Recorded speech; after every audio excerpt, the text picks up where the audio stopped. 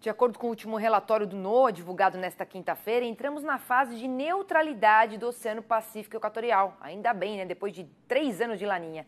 Dessa maneira, boa parte do desenvolvimento da segunda safra de milho e dos cereais de inverno vão estar sob essas condições de neutralidade. E quem traz o panorama para a gente dos próximos meses é a Amanda Souza, da Ex-Weather. Amanda, será que já dá para a gente falar que a próxima safra de verão vai ser mais úmida no sul do Brasil? Olá, muito boa tarde, Priscila. Boa tarde a todos que nos acompanham através do Mercado e Companhia. A NOAA confirmou nesta última quinta-feira, dia 9, o término do fenômeno Laninha. E agora a gente entra em neutralidade do Oceano Pacífico. Esse mapa já mostra as temperaturas mais aquecidas, tanto no Pacífico Leste quanto também no Pacífico Central. Isso não quer dizer que já entramos em um El Ninho diretamente, estamos em neutralidade. E segundo as projeções em comum consenso né, entre o IR e também a NOAA é que ao longo desse outono de 2023 tenhamos a influência de um Pacífico neutro, a neutralidade. Isso não quer dizer que tudo vai acontecer dentro da normalidade, mas já olhando a projeção dos próximos trimestres, a tendência é da instalação do fenômeno El Ninho, marcado aqui pelas barrinhas em vermelho, a instalação desse aquecimento da água superficial do Oceano Pacífico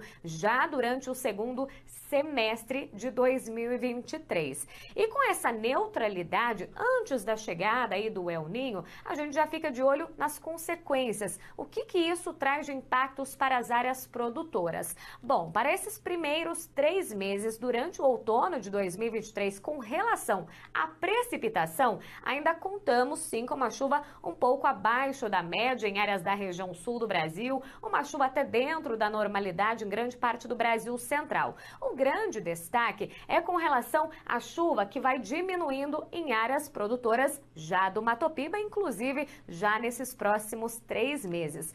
Mas falando da neutralidade do Oceano Pacífico com relação às temperaturas, isso porque a gente fica de olho aqui, abril, maio e junho. Já durante o outono, quando tinha influência do fenômeno Laninha, já tínhamos a preocupação com as primeiras ondas de frio, com o avanço das geadas atingindo as áreas produtoras. E com essa neutralidade diminui esse, essa chance, esse risco para ondas de frio acontecendo já durante o mês de maio, por exemplo. Então, as ondas de frio devem ser menos intensas e também menos extensas pelo Brasil. Nesses últimos três anos, tivemos registros de várias geadas, inclusive fortes, não só na região sul, como também no sudeste. Temperaturas baixas atingindo áreas produtoras, inclusive de café. Então, com essa neutralidade do Oceano Pacífico, diminui esse potencial de um frio muito intenso, de um frio também muito duradouro ao longo do outono.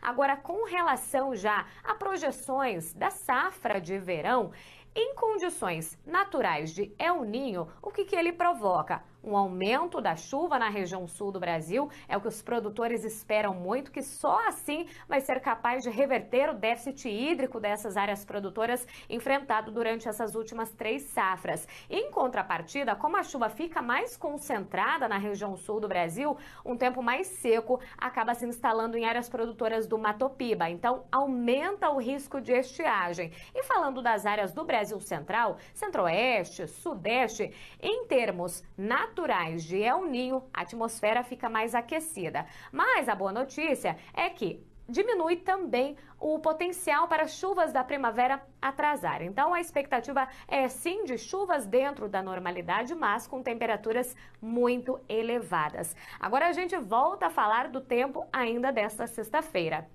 Há expectativa de pancadas em grande parte do Brasil, desde a região norte até pontos ainda do sul.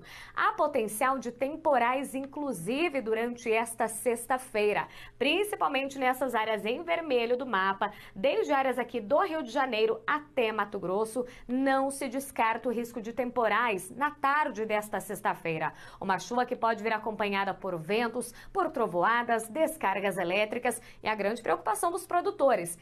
Eventual queda de granizo. Falando das temperaturas que servem como combustível para esses temporais, máxima de 30 graus em Belo Horizonte, 31 graus em Cuiabá, até 32 em Porto Alegre. Aliás, uma nova massa de ar seco e ar quente volta a se instalar no Rio Grande do Sul, então a preocupação continua e grande. Com relação à chuva dos próximos dias, ainda um tempo muito seco no Rio Grande do Sul, pouquíssima chuva ainda em grande parte da Bahia, norte de Minas Gerais, enquanto que a chuvarada ainda não deve dar trégua. Em áreas produtoras, principalmente São Paulo, áreas aqui da Alta Mogiana em especial, Mato Grosso do Sul, áreas mais ao norte de Mato Grosso e ainda nessa faixa da região norte. Desde áreas do norte do Ceará até o Amazonas, previsão de muita chuva, acumulados em cinco dias dias, que podem ultrapassar até mesmo a casa dos 100 milímetros. É com você no estúdio, Priscila.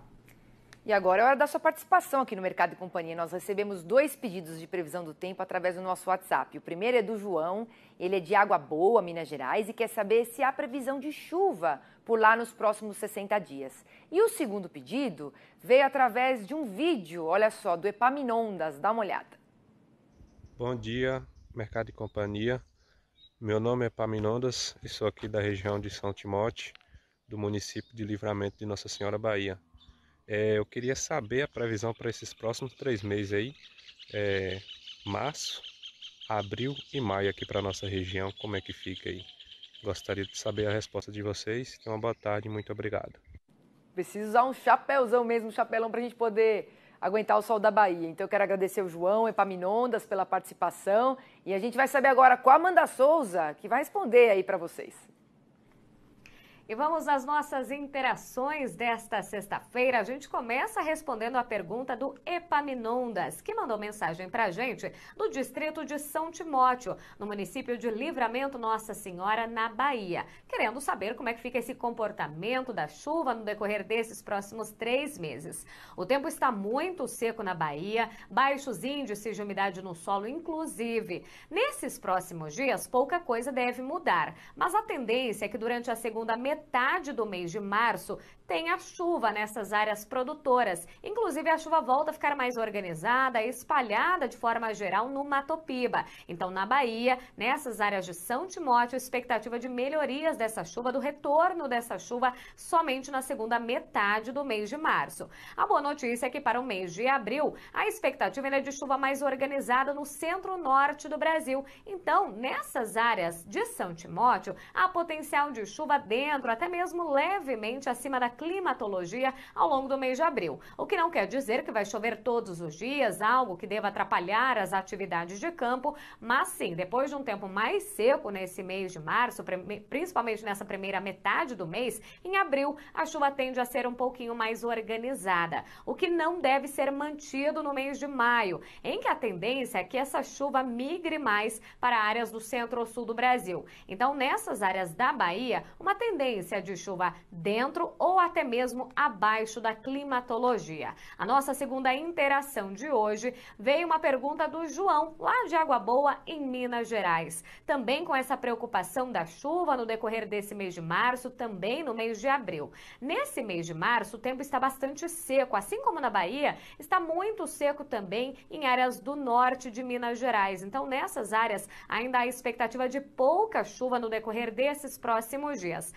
Na segunda metade do mês, há tendência sim de retorno das chuvas em áreas do centro-norte mineiro, mas uma chuva que ainda deve ficar dentro ou até mesmo abaixo da climatologia no somatório final do mês de março. Já no mês de abril, uma chuva voltando a se espalhar de forma mais organizada, mais frequente também. Então, o mês de abril tende a ter chuvas acima da climatologia nessas áreas de Minas Gerais. É com você no estúdio, Priscila.